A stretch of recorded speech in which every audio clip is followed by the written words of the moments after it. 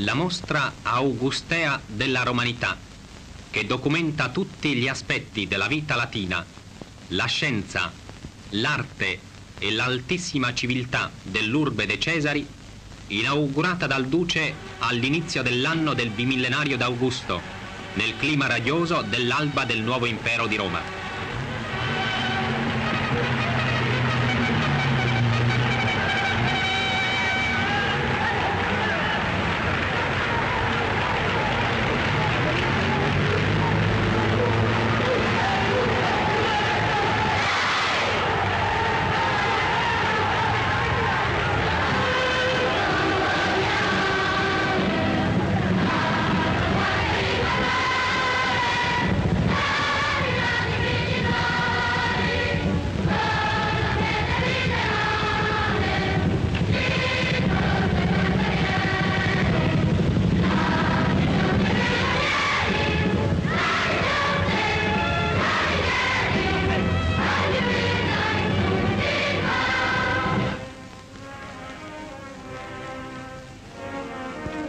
La sala dell'impero, con i suoi calchi di monumenti a carattere trionfale, come questo rilievo di sacrificio compiuto da un imperatore, probabilmente Traiano, dinanzi ad un grande tempio, può dirsi il salone d'onore della mostra voluta dal duce,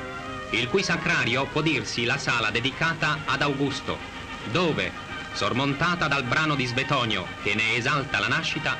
ci appare la statua del primo imperatore raffigurato come capo dell'esercito con corazza e paludamento, per la cui grandezza, come ci ricorda Florio, solo il titolo di Augusto fu trovato adeguato dal Senato romano e preferito quale crisma d'immortalità. E che nella grande nicchia dorata ci appare raffigurato come genio benefico con il corno dell'abbondanza in una mano e la patena per i sacrifici nell'altra. Dalla sala le cui pareti illustrano lo sviluppo dello Stato romano. Durante le guerre civili, passiamo nella sala dedicata a Giulio Cesare, dove, per glorificare il massimo genio militare di tutti i tempi, sono raccolti modelli di macchine da guerra, di opere di assedio e di fortificazioni,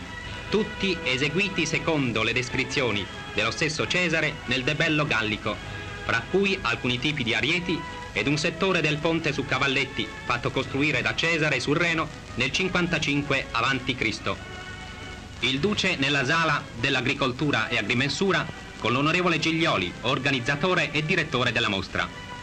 I celebri versi a Roma del Carme secolare di Orazio preparano a contemplare la grande ricostruzione plastica dell'architetto Gismondi, della capitale del mondo nel suo periodo di massimo splendore. Tra i marmori edifici di una maestà e di uno stile incomparabile si individuano facilmente il Campidoglio e in basso il Teatro di Marcello.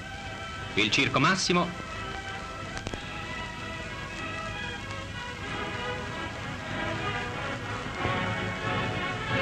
la Rocca Capitolina, il Tempio di Giove, la Basilica di Massenzio, il Tempio di Venere e Roma e sullo sfondo la sagoma inconfondibile del Colosseo.